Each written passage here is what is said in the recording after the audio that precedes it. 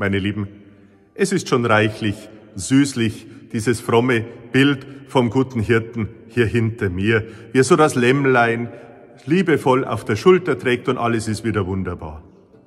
Mit der Arbeitswirklichkeit der Hirten zur Zeit Jesu hat es relativ wenig zu tun.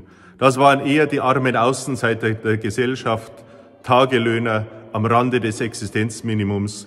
Sie mussten sich schon deswegen um die Herde kümmern, denn wenn ein Tier verloren ginge, hätten sie es selber ersetzen müssen und wie hätte das gehen sollen? Und wie schaut's heute in der Kirche aus mit den Hirten, die sich diesen guten Hirten zum Vorbild nehmen?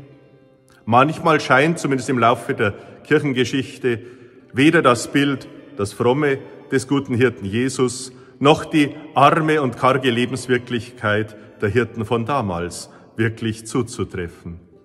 Aber gerade wenn wir manches vielleicht heute mit Fragezeichen sehen, wenn wir vom guten Hirten reden, gerade das ist wichtig. Und gerade darin steckt auch eine ganz neue Perspektive für die Kirche von heute, wenn wir den Mut haben, genau hinzuschauen und zu fragen, wer ist denn Hirte und wer ist denn Hirte? In wen ruft denn Jesus so auf seinen Weg?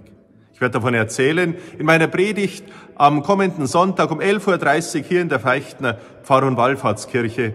Der Gottesdienst wird live übertragen im Regionalfernsehen Oberbayern und auf unserem YouTube-Kanal.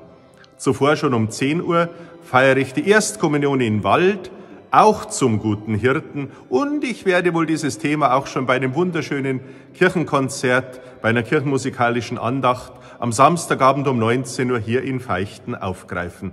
Euch alle lade ich herzlich dazu ein und wünsche euch jetzt schon einen gesegneten Sonntag.